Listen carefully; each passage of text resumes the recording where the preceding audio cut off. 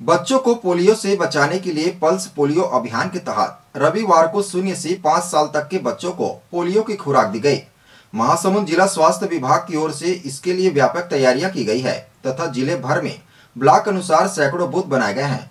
बच्चों को पोलियो से बचाने के लिए पल्स पोलियो अभियान के तहत आज शून्य से पाँच साल तक के बच्चों को पोलियो की खुराक दी जा रही है। महासमुंद जिला स्वास्थ्य विभाग की ओर से इसके लिए व्यापक तैयारियाँ की गई है तथा ज़िले भर में ब्लॉक अनुसार सैकड़ों बूथ बनाए गए हैं। जिला स्वास्थ्य समिति महासमुंद के तत्वाधान में पल्स पोलियो का अभियान चलाया जा रहा है। पोलियो से बचाने के लिए यह गाँव पिछले कई वर्षों ऐसी संचालित है। ज़िले के सरायपाली ब्लॉक में दो पोलियो बूथ बनाए गए हैं। जहाँ सोलह हज़ार पंचानवे बच्चों को पोलियो की ड्राप दी जानी है। जानकारी के अनुसार पहले दिन पोलियो बूथ में पोलियो की तलाश की जा रही थी, जबकि दूसरे दिन घर घर जाकर छूटे हुए बच्चों को पोलियो का ड्राप पिलाया जाएगा। तीन दिनों तक अभियान चलेगा। हम आपको बता दें कि एसडीएम सरायपाली नम्रता जैन के द्वारा पल्स पोलियो अभियान वाहन को हरी झंडी दिखाकर रवाना किया गया था। आज पोलियो बूथ में छोटे बच्चों को पोलियो ड्राप के लिए लाते हुए देखा गया, तथा पोलियो बूथ में बच्चों को पोलियो ड्राप दिया जा रहा था।